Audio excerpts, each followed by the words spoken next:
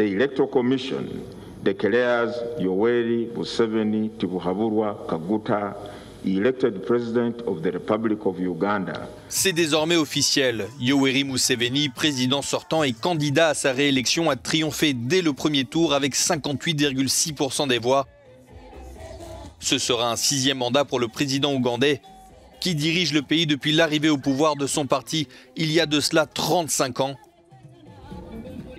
Bobby Wine, le principal opposant du président Museveni, a lui obtenu 34,8% des voix selon la commission électorale. Le leader de la plateforme d'unité nationale avait fait savoir dès vendredi qu'il rejetait le vote, entaché selon lui de nombreuses irrégularités. Selon la commission électorale ougandaise, 57% des électeurs se sont déplacés aux urnes dans ce qui a été un scrutin extrêmement tendu. Lors de la campagne, plusieurs dizaines de personnes étaient mortes dans de violents affrontements entre forces de police et manifestants.